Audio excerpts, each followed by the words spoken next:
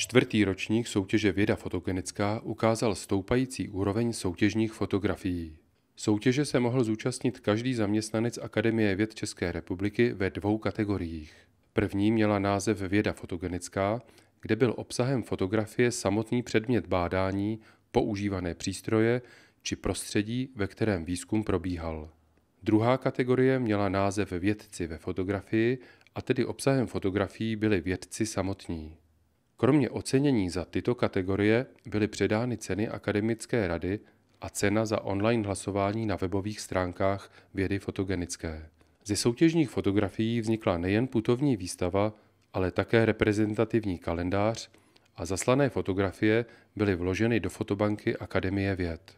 Na organizaci soutěže se podílel spolek Věda žije a Středisko společných činností Akademie věd České republiky. V letošním roce se soutěže zúčastnilo 89 soutěžících s více než dvěma sty fotografiemi. Bude jich v příštím roce ještě více?